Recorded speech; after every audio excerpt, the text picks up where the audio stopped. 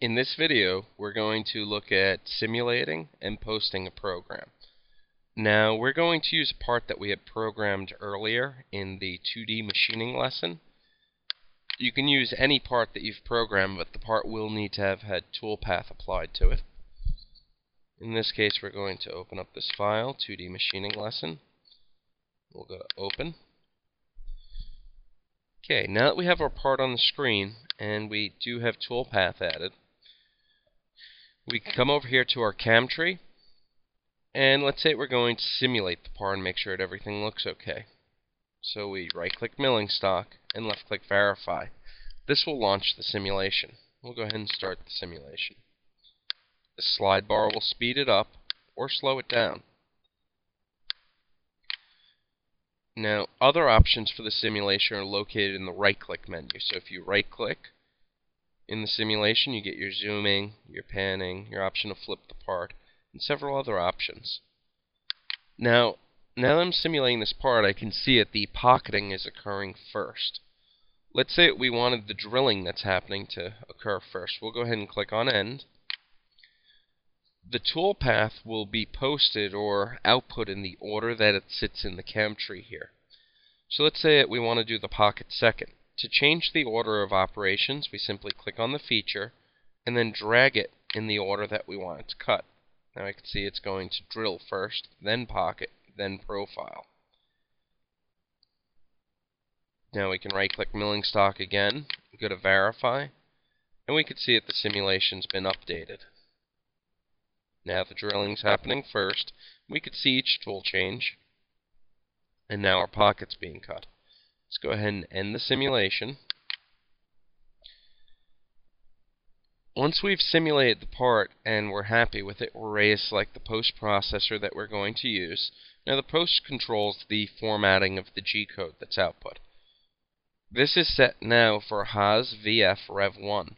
Now let's say we wanted to change this post processor we can right click, go to edit, then click on select and select from our list of installed post processors. In this case though we're going to go ahead and use the HAAS-VF post. Now the next thing to consider is going to be the order that the posting happens in. Now Bobcad will allow you to either post out by tool or by feature.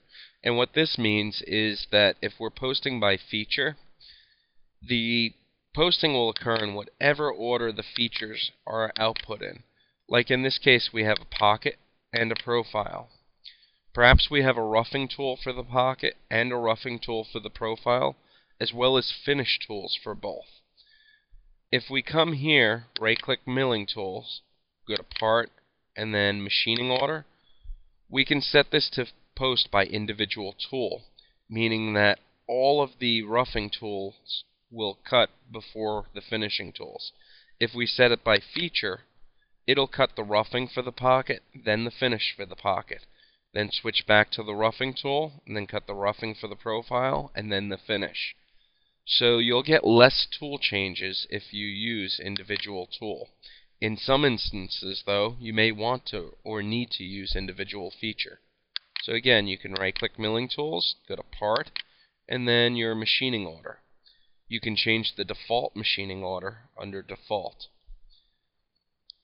The next thing to look at are the tools themselves. So if we go to verify tool assignment, this will give us a list of the tools that are being used in this program, as well as the tool numbers being output. Now the tool numbers can either be set automatic tool numbering, which will output sequentially 1, 2, 3, 4, 5 or we can use the tool numbers that are set up in our tool database. If we uncheck Use Automatic Tool Numbering, you'll see the numbers that had been set up in the database. As well as you can also click on a tool number and then double click and then change the number manually as well. In this case, we'll use automatic tool numbering. We'll click OK. Now at this point we're ready to actually post and save the program. So if we're going to use a disk like a USB stick or a floppy disk, we put it in the computer now. And then we'll come up here to Milling Tools, right click, and go to Post and Save As. give the file a name, and then save the file. That'll save the file to whatever location you choose, and it also gives you a preview of the code being output in the Post Manager.